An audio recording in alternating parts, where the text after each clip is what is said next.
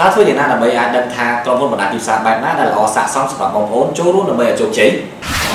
បងប្អូនដែលធ្លាប់ជ្រើសរើសក្រុមហ៊ុនបណ្ដាញទីផ្សារខុសប្រកាសជាយល់អារម្មណ៍មួយនេះហើយអ្វីដែលសម័យកាលពីចូលសិក្ខាសាលាដំបូងរយៈពេលត្រឹមតែ2ឆ្នាំនឹងក្លាយជាអ្នកមានសិទ្ធិសេរីភាពរ៉ាញ់វត្ថុនិងសេរីភាពពេលវេលាអារម្មណ៍ថារំភើបញ័រក្រលៀត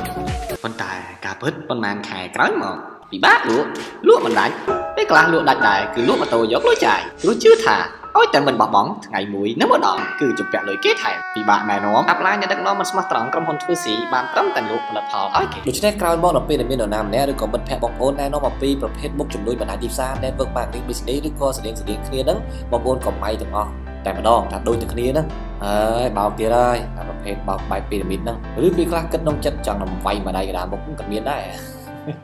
ប៉ុន្តែឈប់សិនបងប្អូននឹងមិនជោគជ័យក្នុងមុខជំនួយបណ្ដាញទីផ្សារនោះទេប្រសិនបើបងប្អូនជ្រើសរើសក្រុមហ៊ុនមិនត្រឹមត្រូវនិងមិនចេះពីរបៀបវិភាគមុខជំនួយបណ្ដាញទីផ្សារការជ្រើសរើសក្រុមហ៊ុនឲ្យបានត្រឹមត្រូវនឹងអាចធ្វើឲ្យក្តីសុបិនរបស់បងប្អូនខ្លាចជាការពិតតែបើជ្រើសរើសមិនត្រឹមត្រូវនឹងធ្វើឲ្យបងប្អូនខ្លាចជាកពើបើសិនបើគេឲ្យបងប្អូនហក់ពីលើយន្តហោះដោយគ្មានឆាត់យោងហើយគេឲ្យបងប្អូន1លានដុល្លារតើបងប្អូនហ៊ានទេហ៊ានទេហ៊ានទេ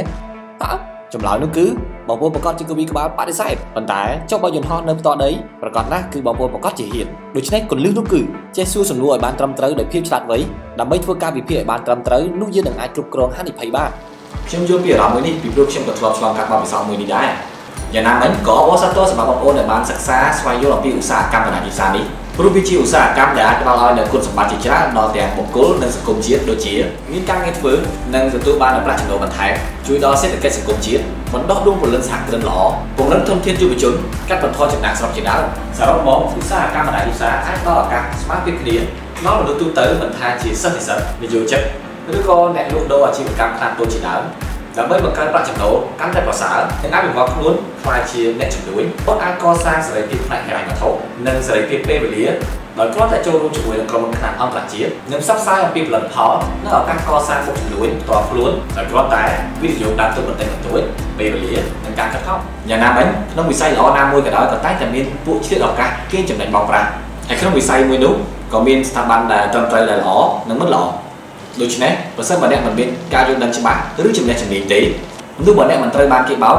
ក៏អ្នកមិនអាចជោគជ័យក្នុងវិស័យណាមួយនោះដែររីឯក្នុងវិស័យបណ្ដាញទីផ្សារក៏ដូច្នោះដែរគឺមានពួកបោកប្រាស់បែបពីរ៉ាមីត Ponzi scam money game ដែលបន្លំខ្លួនហើយក្រុមហ៊ុនបណ្ដាញទីផ្សារត្រឹមត្រូវស្របច្បាប់នីមួយៗក៏មានល្អនិងមិនល្អដូច្នេះតើធ្វើយ៉ាងណាទើបអាចកំណត់បានថាក្រុមហ៊ុនបណ្ដាញទីផ្សារត្រឹមត្រូវស្របច្បាប់មួយណាដែលល្អសម្រាប់បងប្អូនចូលរួមចំណុចនោះគឺក្រុមហ៊ុនបណ្ដាញទីផ្សារត្រឹមត្រូវស្របច្បាប់ដែលល្អសម្រាប់បងប្អូនចូលរួម គឺមានកត្តាទាំងអស់នេះទី1គឺវិភាគទៅលើក្រុមហ៊ុន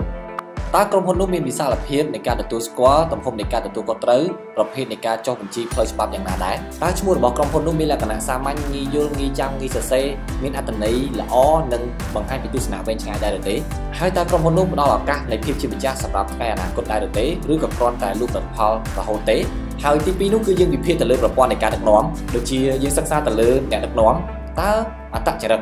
បុគ្គលិកលក្ខណៈ ទឹកចិត្តសមត្ថភាពបទពិសោធន៍ជោគជ័យនៃអ្នកដឹកនាំនោះយ៉ាងដូចម្តេចដែរតើអ្វីជាក្តីសុបិនទស្សនវិស័យបេសកកម្មនិងបុព្វហេតុគោលបំណងនៃអ្នកដឹកនាំក្នុងការដឹកនាំក្រុមហ៊ុននោះរីឯចំណុចទី3គឺយើងសិក្សាទៅលើផលិតផលតើផលិតផលនោះប្រែអ្វីមកពីណាដែរគុណភាពនិងស្តង់ដារបែបណាដែរតើផលិតផលនោះមានអ្នកជំនាញធានាអះអាងនិងប្រភពច្បាស់លាស់ដែរឬទេតើផលិតផលនោះចេញពីរោងចក្រផ្ទាល់ខ្លួននៃក្រុមហ៊ុនឬក៏យកតពីគេហើយតើតម្លៃនិងផលចំណេញនៃផលិតផលនោះមានលក្ខណៈយ៉ាងណាដែរសមហេតុសមផលដែរឬទេតើផលិតផលនោះឆ្លើយតបទៅនឹងបញ្ហាតម្រូវការទីផ្សារដែរឬទេតើវាឆ្អែតនឹងទីផ្សារដែរឬទេហើយតើផលិតផលនោះមានលក្ខណៈសម្បូរបែបដែរឬទេនិងទី4គឺយើងវិភាគទៅលើគម្រោងប្រាក់ចំណេញសំណួរដែលយើងត្រូវសួរមានដូចជាតើប្រភពប្រាក់ចំណេញនោះមកពីណាលំហូរសាច់ប្រាក់មានលក្ខណៈច្បាស់លាស់ដែរឬទេហើយតើការដកប្រាក់មានលក្ខណៈច្បាស់លាស់ត្រឹមត្រូវនិងងាយស្រួលដែរឬទេតើ system website និង account គណនីរបស់យើងមានសុវត្ថិភាពនិងទំនើបដែរឬទេនិងទី5នោះគឺយើងសិក្សាទៅលើប្រព័ន្ធការងារនិងប្រព័ន្ធបណ្ដុះបណ្ដាលពីព្រោះវាជាចំណុចមួយដែលសំខាន់នាំឲ្យយើងអាចលក់ផលិតផលដែលល្អនោះដាច់ព្រមទាំង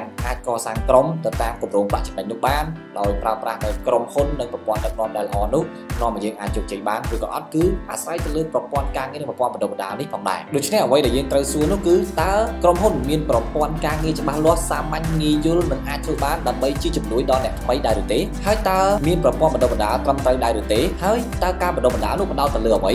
មានទស្សនៈបែបណានិងមានសិលធម៌ដែរឬទេសរុបមកជោគជ័យក្នុងមុខជំនួយបណ្ដាញវិសាសម័យថ្មីនោះគឺត្រូវមានប្រព័ន្ធការងារប្រព័ន្ធបណ្ដុះបណ្ដាលសាមញ្ញងាយយល់និងអាចអភិវឌ្ឍអ្នកខ្លាចជាម្ចាស់មុខជំនួយពិតប្រាកដនៃចក្រភពមុខជំនួយដ៏សម្បូរបែបច្រើនវិស័យ